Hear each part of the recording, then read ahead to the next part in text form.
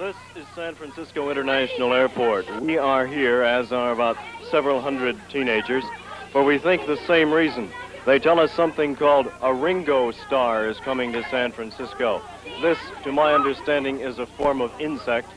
Police and airport officials have been urging people not to come out here all day long. I genuinely didn't want to, but the powers that be have a sense of humor not like mine, obviously.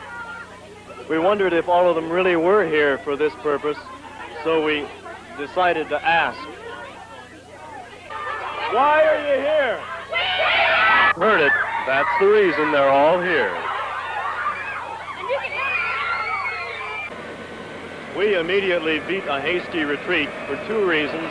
One was the rush of teenagers upstairs. The other is that we heard Ringo Starr has arrived.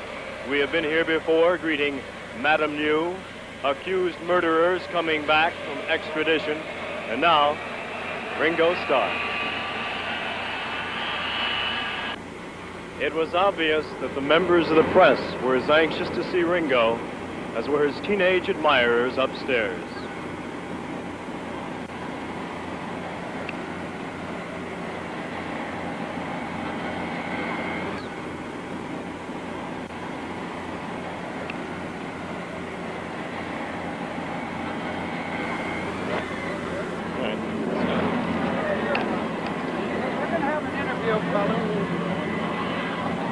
Aren't you happy to be here? Yeah, pity I'm not staying a bit longer.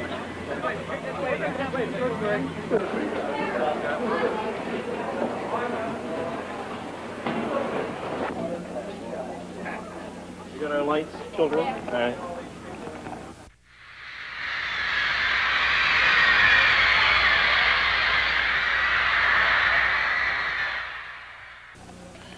Are you Look planning out. to go out there and Yes, see any of your fans?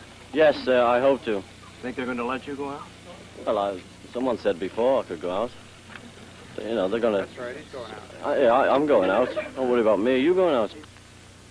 And outside, his fans were awaiting one Ringo Starr. Police officers pushing back the crush of the teenagers. Here he comes. The kid, Buck. The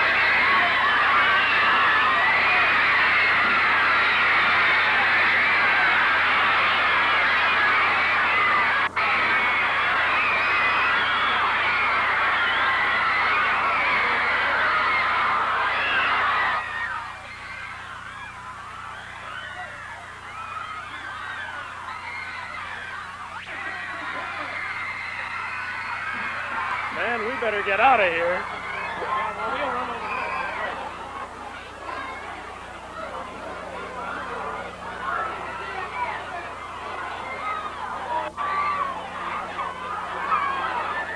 At the very top of the crowd, at the very top of the crowd, one crying female.